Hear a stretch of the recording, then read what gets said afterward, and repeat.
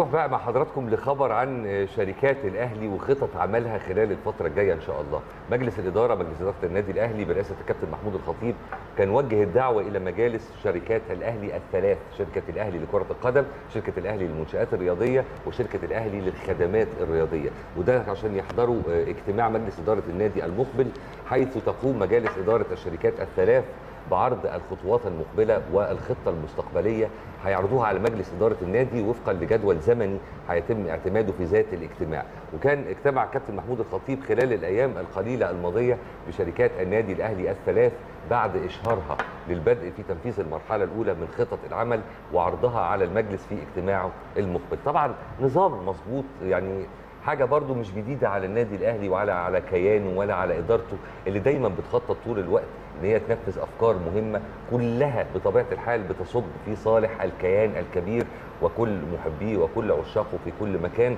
كل التمنيات بالتوفيق للنادي الأهلي ولمجلس الإدارة.